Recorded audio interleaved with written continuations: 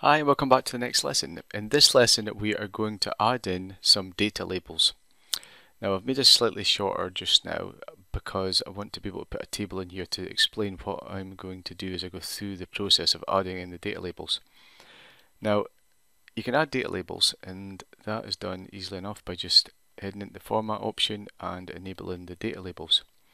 However we can see here that we've got quite a few data labels um, and as we get as we scale this we can see that each one of these has got a data label. Um, we're not really too interested in every single one of these. We only want to see the data labels at the start, the peak and the current values. Okay, so the, the first week, the highest week and the current week. So whatever those are. I'm not interested in the other ones. Now to do that you can't do it using any of the options that are in here.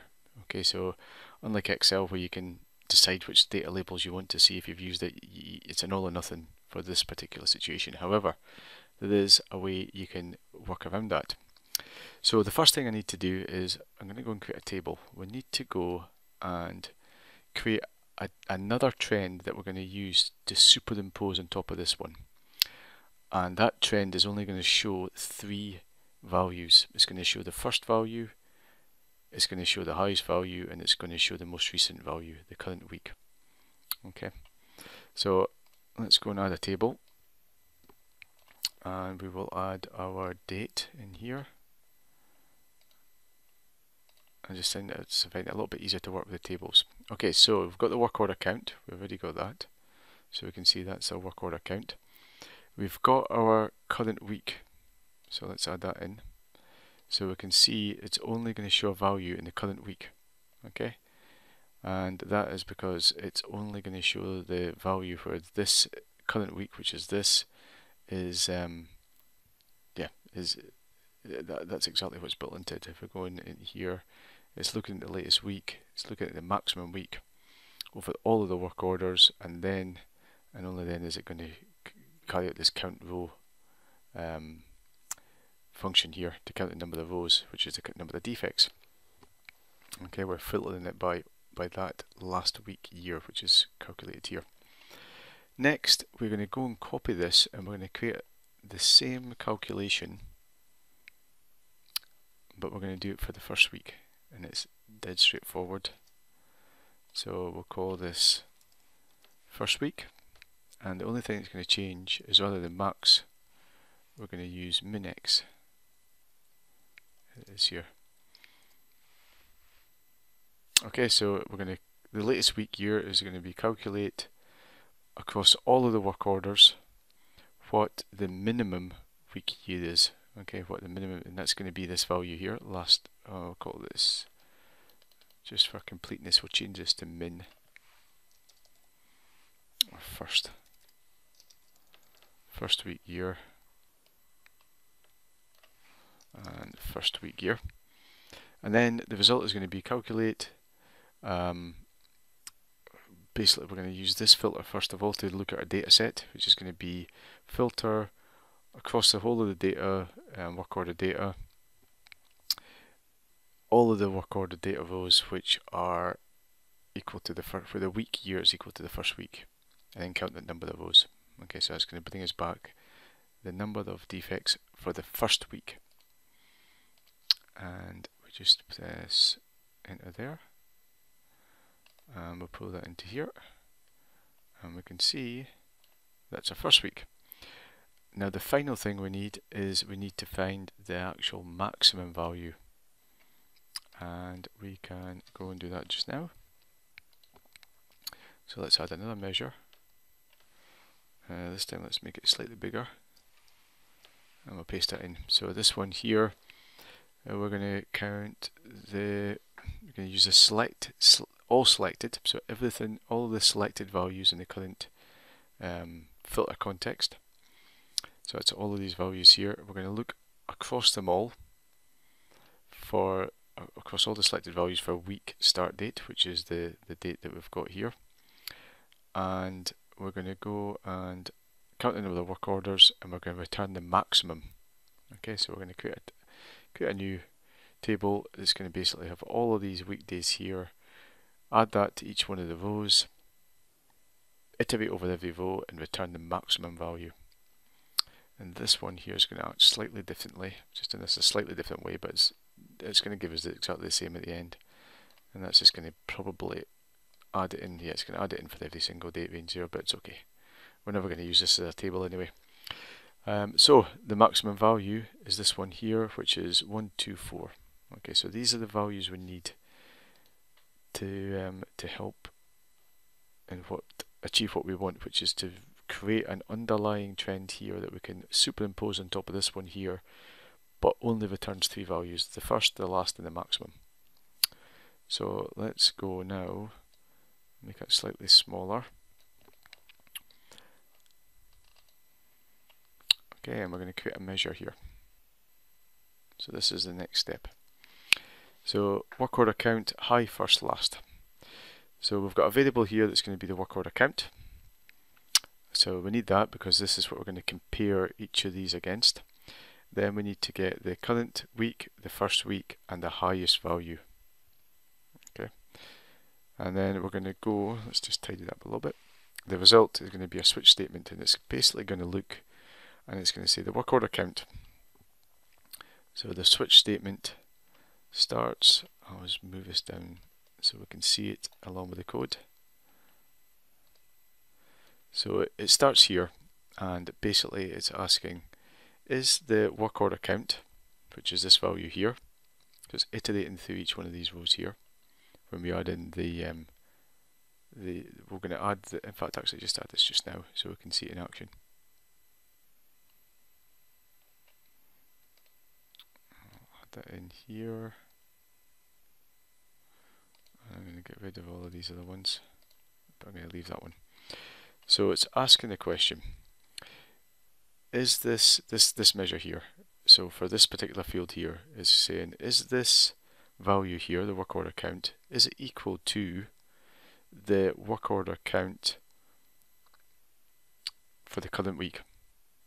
Okay, is it equal? So it's not, okay, so it's not equal to the work order count for the current week because the current week is back here.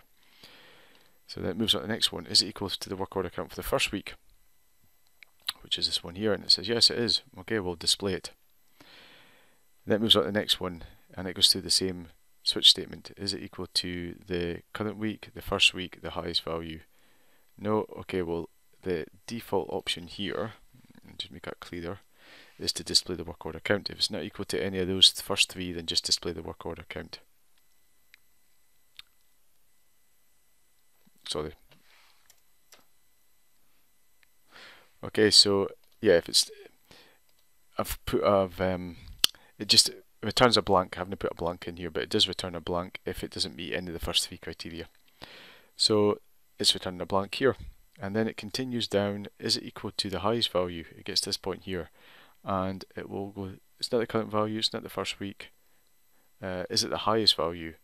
If it is the highest value, then it will return that value, which is the work order count, and so on.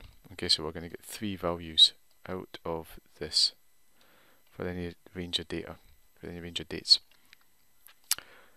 So we've added that in there. So how does that now go on to this chart here? So let's get rid of this and make this slightly bigger. And we're now going to add in this measure here, the first, the highest, or the high first last measure. We're going to add this into our chart as the value, another value, so you can have multiple values here. Now at the moment it's just showing that three values and it's joining them together, so there's a couple of things we need to do. The first one is, we'll leave it at continuous, that's fine, is we need to get rid of the actual line itself. Okay, so to do that, we go down to shapes and we scroll down to the customize series and we scroll down a bit further and we're going to select work order high first last and we're going to change that stroke width to zero okay so it's going to look like it's disappeared however it hasn't disappeared. It's fine. Now the next thing we're going to do is we're going to go and add in the data labels. So we go to data labels here. We go to again customize series that's available now because we've got two different values so we can customize these individually. And I am going to first of all actually go to work order count and get rid of those and then go to work order high first last and add those in. So now we can see we're only displaying the first the highest and the last value which is exactly what we need. The next thing we need to do is we need to add in some actual shapes. So we'll go back into here customize series is on, we want to make sure this is selected, no stroke width, however we want to show a marker. So here are those markers there. and we're going to leave, or we're actually going to turn that to be a, dark colour, black. Uh, maybe not black, maybe just slightly, slightly grayer. And I'm also going to go and change the line so let's go back to our customize series. Uh, is it this one? Let's double check here. Data colors, yeah, there we go. So this is going to be work order count, and I'm going to change that to be a, a slightly grayer color. Uh, let's see. Yep, that's fine. And I'm going to go and actually change the size of that to be slightly smaller. Maybe a bit bigger. Yep, that's probably fine. Okay, so it's just starting to kind of look a little bit nicer. We've got the high, uh, we've got the values here, we've got the high value, we've got the first value, we've got the last value. Uh, I want to display these with, with commas. So let's go and make sure that this first high last has got some commas. And there we can see. And I also want to make sure that there's some commas on the axis here. So let's go and sort that out.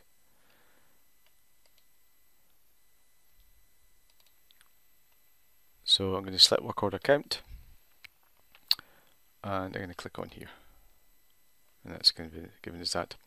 Okay, we'll just quickly tidy up some of this. Um, we're going to get rid of the actual, the top of it here, the legend. We don't need a legend. Uh, in terms of the x-axis, we need a title on the x-axis. I'm happy with that week start date. Just make it slightly smaller. So go to title and we'll just make that a little bit smaller. Mm. Uh, this title on the y-axis we don't need. So let's go in here and we'll turn the title off.